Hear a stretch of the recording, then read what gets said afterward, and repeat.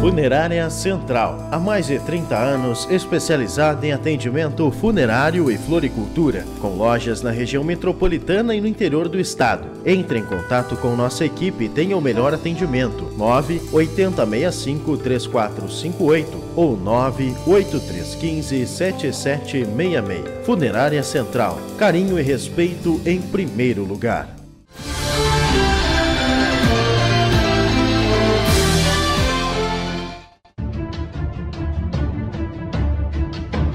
De 1 milhão e 600 mil pessoas ainda não sacaram o PIS/PASEP de 2016. São mais de 800 milhões de reais disponíveis aos trabalhadores e o prazo para retirada do valor termina na sexta-feira, dia 28. Quem não comparecer ao Banco do Brasil ou Caixa Econômica Federal perde o direito de receber.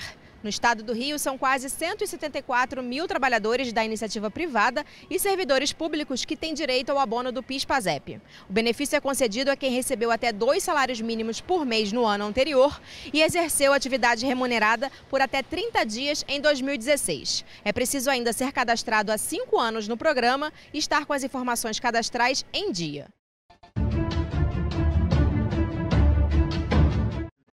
Um caderno de 200 folhas, que custa hoje R$ 13,00 nesta papelaria, poderá sair por R$ 14,30. E o grafite de R$ 4,75 poderá custar até R$ 5,23. A Lucila, mãe de quatro filhos em idade escolar, já está preocupada. Uns 5 mil reais.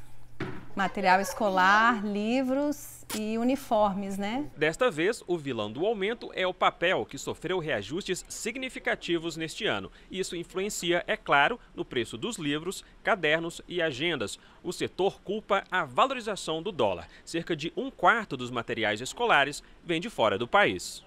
O jeito é economizar onde der. Vale apostar em lojas e sites especializados em compra, venda e troca de livros usados, ou reutilizar o material que sobrou do ano anterior. E enquanto muitos estão pensando nos presentes de Natal, outros aproveitam as papelarias sem fila e ainda com o preço de 2018. A Lucila começou a comprar em novembro. Eu procuro aproveitar as promoções que algumas papelarias fazem em novembro, no Black Friday, que se chama, né?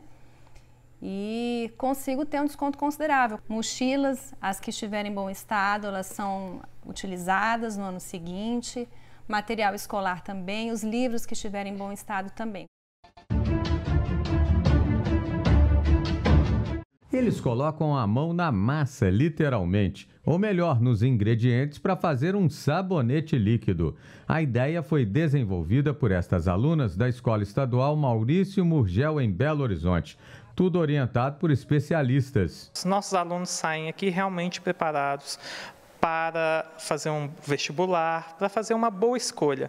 Mas aquela parte de mercado de trabalho, aquela vivência com com a empresa, nem sempre eles têm. Camila viu no projeto, além de uma oportunidade, a descoberta de uma nova vocação. A gente está muito acostumado a só ficar na sala de aula. Então, quando aparece um projeto com esse, acho que todos os alunos têm interesse, mesmo quem realmente não for seguir essa carreira de empreendedorismo, tem um interesse. Essa ideia de trazer um projeto de empreendedorismo para a escola pública partiu de uma ONG especializada no setor que já atua há 35 anos no Brasil. Estimular os alunos para o mercado de trabalho sem esquecer os conceitos básicos da educação financeira. Tudo dentro de uma perspectiva, a do aprenda fazendo. Foi assim que esses alunos de uma outra escola pública desenvolveram um detergente biodegradável para criar o produto, o grupo de 15 estudantes fez vários testes e chegou à conclusão que, para não poluir, era preciso tirar um dos componentes da fórmula tão comum em outros detergentes, o lauril. Essas e outras notícias você confere no nosso site www.lagoatv.com.